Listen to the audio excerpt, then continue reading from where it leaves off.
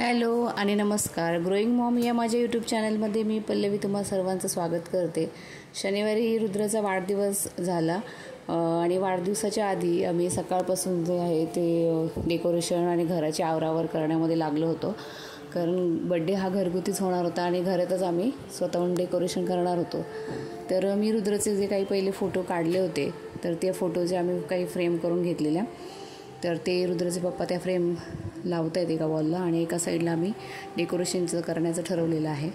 तर एकामध्ये रुद्राचा एकट्याचा फोटो आणि बाकी आमच्या दोघांसोबत रुद्राचे फोटो असे फोटो लावले आणि डेकोरेशन चालू होतं. रुद्रचे मामा आणि मावशी दोघेही आले होते आणि मग सगळ्यांनी मिळून डेकोरेशनला सुरुवात केली.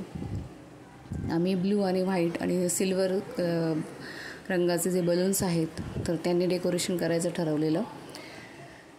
तर घरगुती पहिल्यांदा आम्ही चौकशी केलेली की डि डेकोरेशन वगैरे त्यासाठी पण म्हटलं नंतर घरगुतीच करूया. कारण की आपल्याला तो परत ते बलून म्हणजे कोणी डेकोरेशनसाठी आलं तर त्यांना पण पूर्ण दिवस द्यावाच लागतो. त्यापेक्षा म्हटलं आपणच घरच्या घरी डेकोरेशन करूया. कारण की जेवणाचं तर आम्ही बाहेरूनच मागवलेलं.